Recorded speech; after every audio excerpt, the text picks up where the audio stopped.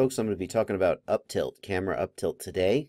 And since we have a premier example of extreme camera up tilt in Mattystuntz, I thought I would make a sensational title of the video uh, and get a lot of people interested. Ah, okay, it's a cheap trick, but what, what? I'm only human, okay? Mattystuntz' secret is that he's an awesome, awesome pilot. Okay, but there is something about Mattystuntz' setup that contributes to the mind bending effect that his videos have. And the component, I think, of Mattystuntz' setup that makes his copter so unexpected to so many people is that he flies with like 60 degrees of up tilt. And most of us are flying with, let's say, less than 45 degrees of up tilt. Now, I picked 45 degrees there uh, for a very specific reason, and that is, as you may know, when you add up tilt to the camera, it changes how you use roll and yaw to turn the copter. The more up tilt the camera has, the more pitched forward the copter is, the more roll you use to turn the copter, and the less yaw you use. If you take a very extreme example where the copter is pitched forward 90 degrees, uh, and the camera is then up tilted 90 degrees, so it's looking, basically the camera is aligned with the motors, you can see in that case that roll and yaw would be completely transposed. The roll input on the stick would cause the copter to yaw from the camera's perspective, and the yaw input from the stick would cause the copter to roll from the camera's perspective. If that doesn't make sense to you, play with your copter, you know, in the living room, turn it around, look at it, figure it out. Uh, and so 45 degrees is the point where that transition starts to happen, where roll is inputting more yaw than roll, and where yaw is inputting more roll than yaw. Okay, below 45 degrees, roll is still mostly roll from the camera's perspective, and yaw is still mostly yaw. So I, I think that many people are haven't thought to go above 45 degrees. Number one, just because you go super fast when that starts happening. And number two, because once you get above 45 degrees, you really have to reshape your brain around how the copter flies. Whereas below 45 degrees, it kind of feels more like an adjustment, but it still kind of feels like it flies normal. To start talking about up tilt, we'll just do the basics. And that is that if you've got a copter like this, thrust comes out the bottom of the copter.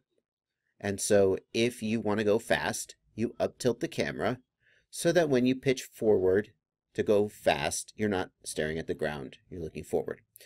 And since it's natural for us to put the horizon at roughly, you know, midline, maybe a little less than midline, then we're going to tend to go faster when we have more up tilt because the more up tilt there is, the further forward the copter will be pitched when the camera is level and the horizon is in frame. Okay, that's the basics of up tilt, and that's basically why I say more up tilt equals more speed equals more awesome. One of the things that up tilt does is it changes the relative magnitude of the vertical and horizontal thrust vectors. So we can see here is a copter with a little bit of up tilt. And by the way, both of these copters have exactly the same magnitude of thrust coming out of them.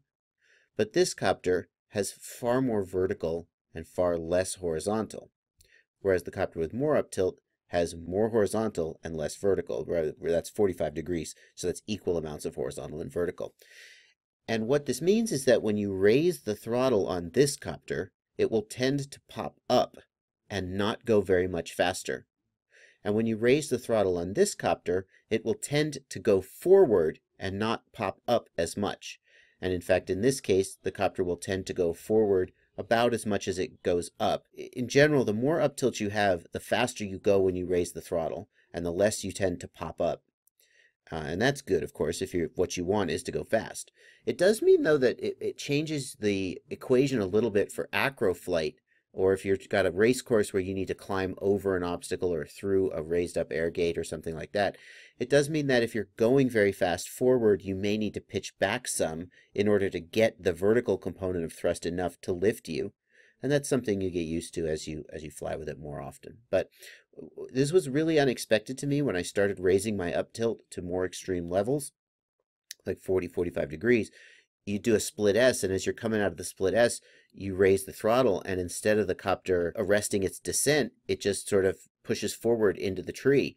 And if you're not really careful, you do a lot of those split S's where you go over the top of the tree and you just right into the ground on the other side because you didn't have as much vertical thrust as you expected to, and instead it just pushed you straight forward. There's another unexpected aspect of up tilt that I discovered as I moved to more and more up tilt. I'm at about 45 degrees, 40, 43 degrees, something, I don't know exactly. And that is that the more up tilt you have, the more confident you can be in acrobatic moves. And the reason for that is that acrobatic moves are usually pitching up. Because of that, when we have no up tilt in our camera, so here, here are four copters oriented in a loop, right? The thrust is perpendicular to the circle, as it must be, and the camera is looking forward with no up tilt. And you can see that in this case, the camera is looking out of the loop. So if there's a tree or an obstacle over here, you are not going to see it coming with very much advance notice, and you will feel timid and not as confident. On the other hand, with 45 degrees up tilt, notice that, again, the thrust is aligned perpendicular to the arc. Notice that the camera is looking into the move, and so you have much more lead time to see what's coming as you're doing the move. And if you watch my recent video, Gravity is No Impediment, nothing changed about my piloting except the fact that I had more up tilt. And suddenly when I started doing these loops, instead of doing them blind, I could see what was coming. And I felt very confident that if I was about to hit a tree, I would just turn out of the move and, and go to go somewhere else, right? And that is a really unexpected effect of up tilt uh, that that I, I just didn't see coming, and it's it's really huge. The ability to do these acro moves, it feels like they're impossible because pilots who don't have enough up tilt would have to do these moves blind, and so they don't do them, or they they do them very rarely. But as you add this up tilt, it you're just flying at some point, and you're pitching back, and you're just watching the tree coast under you until finally you get to the point right? Where, where you, you have to cut the motors and coast over it. But again, because you're looking into the move, you can see the obstacle coming. If you've misjudged the loop and you're about to fall into the tree, you'll see it happening and you'll be able to flip over and fly out of it, hopefully, and not, not have a problem. Whereas with this one, if I haven't got enough vertical velocity and I'm at this point in the loop, I'm not going to see the tree coming. It's going to come up from here and smack me in the head. I can't look down until I'm all, I'm not looking down until I'm already through the move. I'm well through the move. Okay. So there's a very different feel when you've got no up tilt to these acro moves. Now it is true that this up tilt would make it much, much harder to do acro moves where the copter was pitching forward instead of pitching backward. But we don't often do those. So this is another effect uh, of, of up tilt. Now let's take a look at the way Uptilt interacts with some of the acro moves that you see in Mattystuntz videos.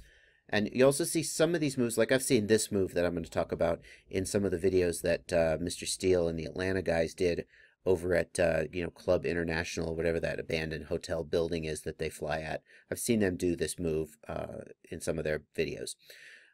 One of the effects of this up tilt is that if I hover in front of an obstacle and fly straight up, it will look like the cam the camera will be looking up at the obstacle and it'll look like the copter is flying parallel to the obstacle somewhat, but it's not.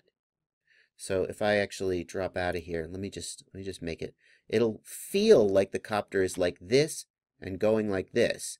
And on some level my pilot's brain says, "Why is the copter not flying away from the wall?" But actually the copter is like this and it's just going straight up. Okay. So that's one of the ways that this, and by the way, this is now like 60 degrees up tilt. It's not 45 degrees. So this is kind of what Mattystuntz is working with. So uh, that's one of the ways in which the up tilt can sort of decouple what you think the copter is doing from what it's really doing. And one of the reasons why Mattystuntz videos are so sort of confusing and disorienting, I think, especially to pilots. If we look at a move, so this is a similar to a move that like he's doing underneath the highway in some of his recent videos where he flips inverted and he's sort of coasting up underneath the highway here. Here we are at the bottom of the move. The copter is actually hovering flat as it enters the move and the camera is looking up. And you can see that as the copter climbs, look what the camera is doing and look at how far into the move you are before you hit the point where you must kill your throttle right here to avoid pushing downwards. You have positive thrust pushing you upwards uh, well into the move. You see that? To this point, you're still you're coasting on that vertical velocity right here and pushing yourself forward. And it's only when you actually get like to here that you actually start to push negative and have to kill your motors. So you have thrust much further into the move than it feels like you ought to. And that's, I, I think, and I don't claim to know any secrets here, but this is just my opinion. I think that's why some of Mattystuntz' moves look like he has 3D. Because your brain is telling you that by the time the camera is pointing here, his motors must be upside down. He must be inverted, but he's not inverted yet. You see? It feels like he must be, but because of his extreme camera angle, he's not. Okay, let's take a look at this video. I'd like to show you some examples of that. Here's, here's an example of the move, like I was showing you, where he goes straight up the wall, and it feels like the copter must be pitched backward, but actually it's not. Watch this. Now see right here, it feels to you and me like he pitched back, but he didn't. He just leveled out. Watch it again. Right there. He is actually hovering flat now. He is not pitched back. And now he goes straight up the wall there, and that's just hovering and going up. It's just a that's just a punch out. At this point, his copter, I'm thinking, is probably actually 90 degrees to the ground. It feels like he must be upside down, and you say to yourself, how is he how is he hovering? In fact, he may not be quite 90 degrees to the ground yet. He may actually not he may actually be like right here and do you see that right here, he still has vertical thrust. He can still push upwards a little bit, right? And that, I think, is what contributes to the, well, he did a flip there, what contributes to the way he sort of floats and hangs in the air. Okay, so up tilt, up tilt and Mattystuntz. This, these are my thoughts, uh, breaking it down. Uh, as you're watching Mattystuntz video, I, I encourage you to get out a quadcopter frame, get your copter out, and like put a pencil on it or put your finger on it or something at 60 degrees up tilt. And then work backwards. Look at his camera angle and say to yourself, where is his camera pointing? And then put your copter 60 degrees to that and look at where his copter actually is. And it will not be where your mind expects it to be because you're just not used to so much extreme up tilt. And that'll help you sort of break down what's going on here. Or if you really want to be a rock star, just put your camera at 60 degrees up tilt cross your fingers and go for it because that's pretty much i think what he did and uh and as you can all see it's amazing. But uh but uh i think most of us will crash very very quickly if we do that so eh, maybe in an open field. Alrighty hope that's helpful. Happy flying